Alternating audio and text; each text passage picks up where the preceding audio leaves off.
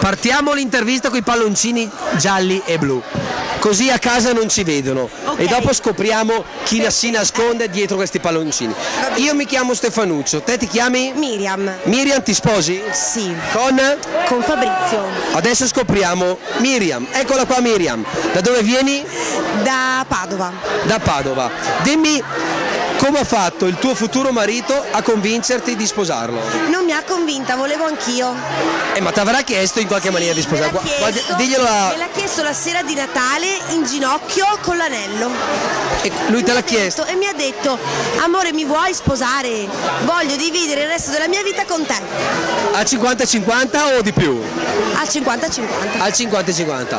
Quindi facciamo l'esempio anche una promessa. Te ti sogni avere dei figli, il tuo sogno, la tua famiglia tipo?